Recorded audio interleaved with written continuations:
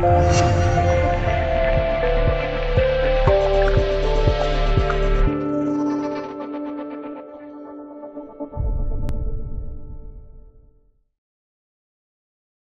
天，国际排联官网终于公布了女排国家联赛南京总决赛竞赛日程，也是最权威和最正版的赛程。从这份赛程表看，中国台球迷再也不用像收看德国站比赛那样辛苦的熬夜了。赛程表这次杀入总决赛的六支球队是美国队、塞尔维亚队、巴西队、荷兰队、土耳其队和中国队。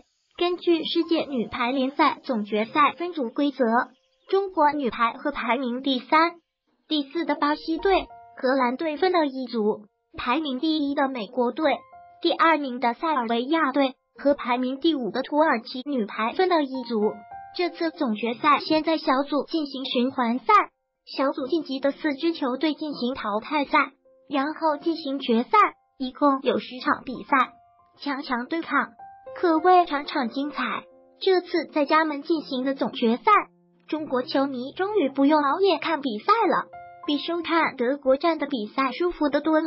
为了收看德国站的比赛，铁杆们都是深夜二十三时三十分看到一日凌晨，有说不出的困顿。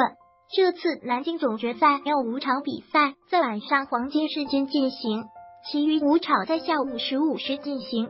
中国队小组赛的两场比赛，一场在北京时间晚上十九时十五分进行，一场在晚上二十时三十分进行。